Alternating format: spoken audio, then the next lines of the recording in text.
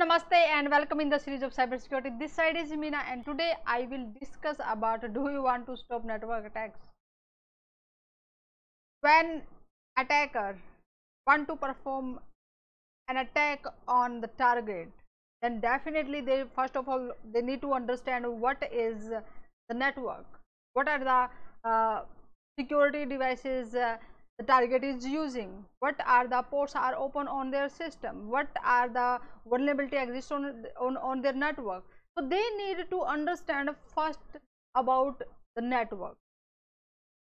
So uh, definitely we need to understand what type of network attacks and uh, they are performing. Then definitely uh, then we can able to stop those. So let's see here is uh, for example a network of a company. For example this side is the network of a company. And here it is connected with the public network which is internet. Here. And uh, here is uh, on the boundary or the premises where the companies start to protect their data from the unauthorized access. This is a company network. They have implemented the firewall so, who are the legitimate traffic? They are allowed to move out of their network and in return they will check it whether that is legitimate or not. If not, then they will delete it. So, for example, this is the dustbin. If whatever the rule they have been set it out, if they will follow, then pass or whatever the, rule they are just trying to violate, then definitely so here are uh, the attacker. For example attacker exists on the internet and they want to perform an attack. So first of all they will find out with the reconnaissance attack.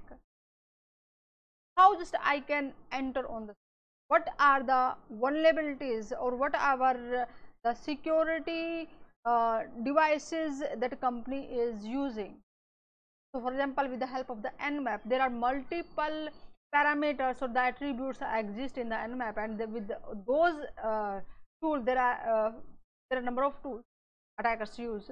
So, with the help of they will find out what is the security devices using and after that what are the ports are open on it and when they will find out yes these are the way I can enter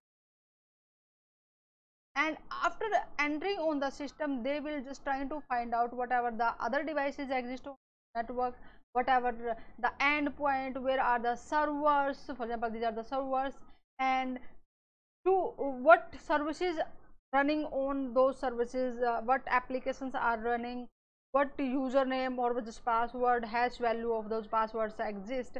So this they are just trying to find out the structure of the complete network and after that they will perform the access attack means getting the knowledge of the network uh, what network exists they will just try to find out the weakest part of the network and how to just compromise this just to find it out.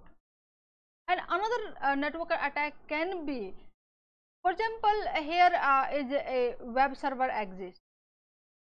On the one side of that one there is a web server exists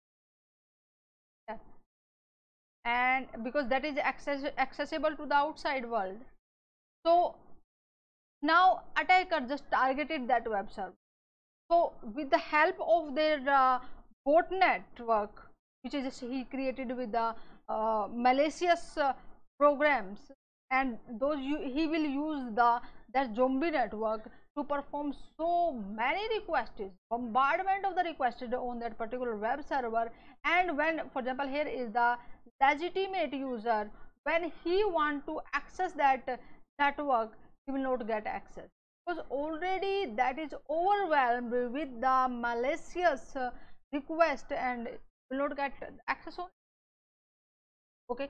So there can be number of uh, network attacks and uh, we need to first of all we need to understand uh, why and how uh, hackers are performing and then definitely we can uh, make our security very very granular level tightly and then definitely our network.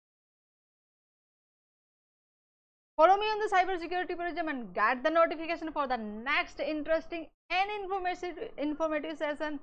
share that video with your friends and group members so that they will be able to understand what are the network attacks how attackers or hackers are performing network and in the next session I will discuss about how to detect malware in 9 Namaste. See you in the next